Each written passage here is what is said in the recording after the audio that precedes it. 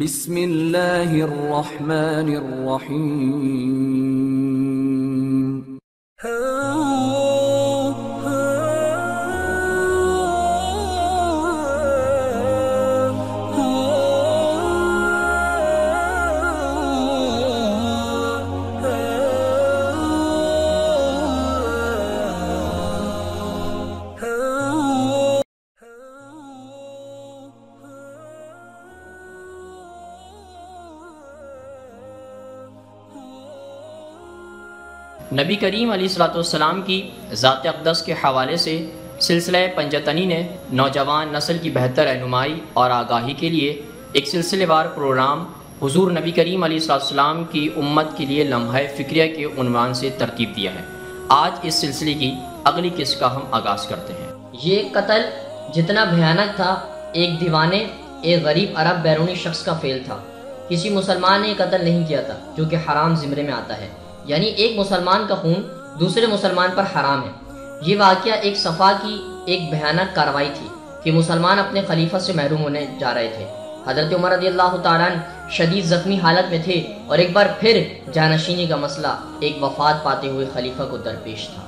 और एक बार फिर एक कायम शुदा अमल की अदम मौजूदगी में इसका हल मुतनाज़ लग रहा था, जो आने वाली सदियों के चैलेंज के लिए खुला मसला था। जख्मों की ताब ना लाते हुए अपनी मौत से चंद घंटे पहले हज़रत उमर रदी अल्लाह ने शुरा के खुले इतफाक़ के राय और अपने जानशीन के तकर्र के अख्तियार के दरमियान दरमियानी रास्ता तय किया। जैसे कि तो की गई थी, उन्होंने इस मनसब के लिए, अपनी जानशीनी के लिए हज़रत अली रदी अल्लाह का नाम लिया।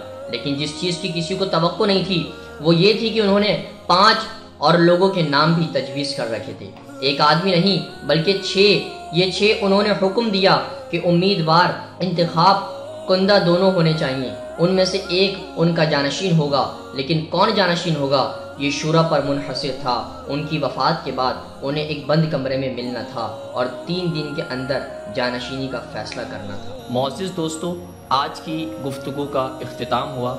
इन कल आपसे फिर मुलाकात करेंगे। एक नए ज़िक्र और फ़िक्र के साथ अपना बहुत सारा ख्याल रखिएगा। अल्लाह हाफिज़।